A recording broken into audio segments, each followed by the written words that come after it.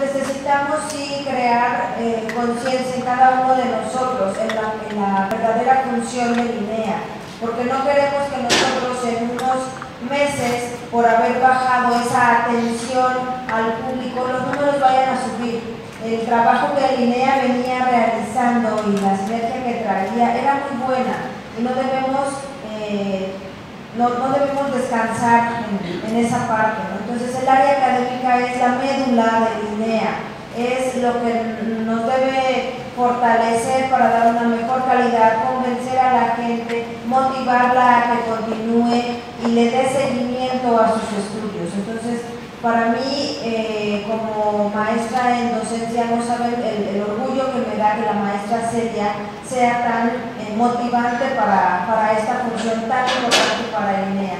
¿no? El rezago educativo en México